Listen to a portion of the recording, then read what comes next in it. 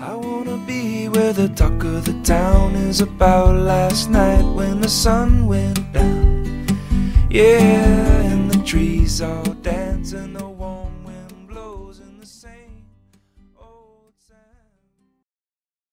Hi guys, so I'm to teach you how to edit the template. So this is the template.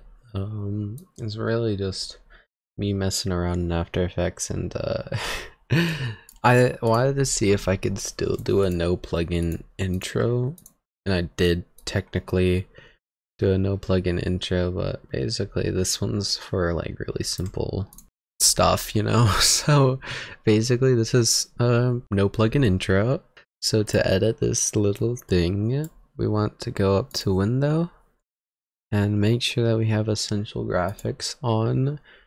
Go to your essential graphics panel and then basically in these two text fields you want to type like oh lamau and then you go lamau on the next one as well. You want to do that for both of them and then that just changes your text and that's literally all you have to do to make this intro yours.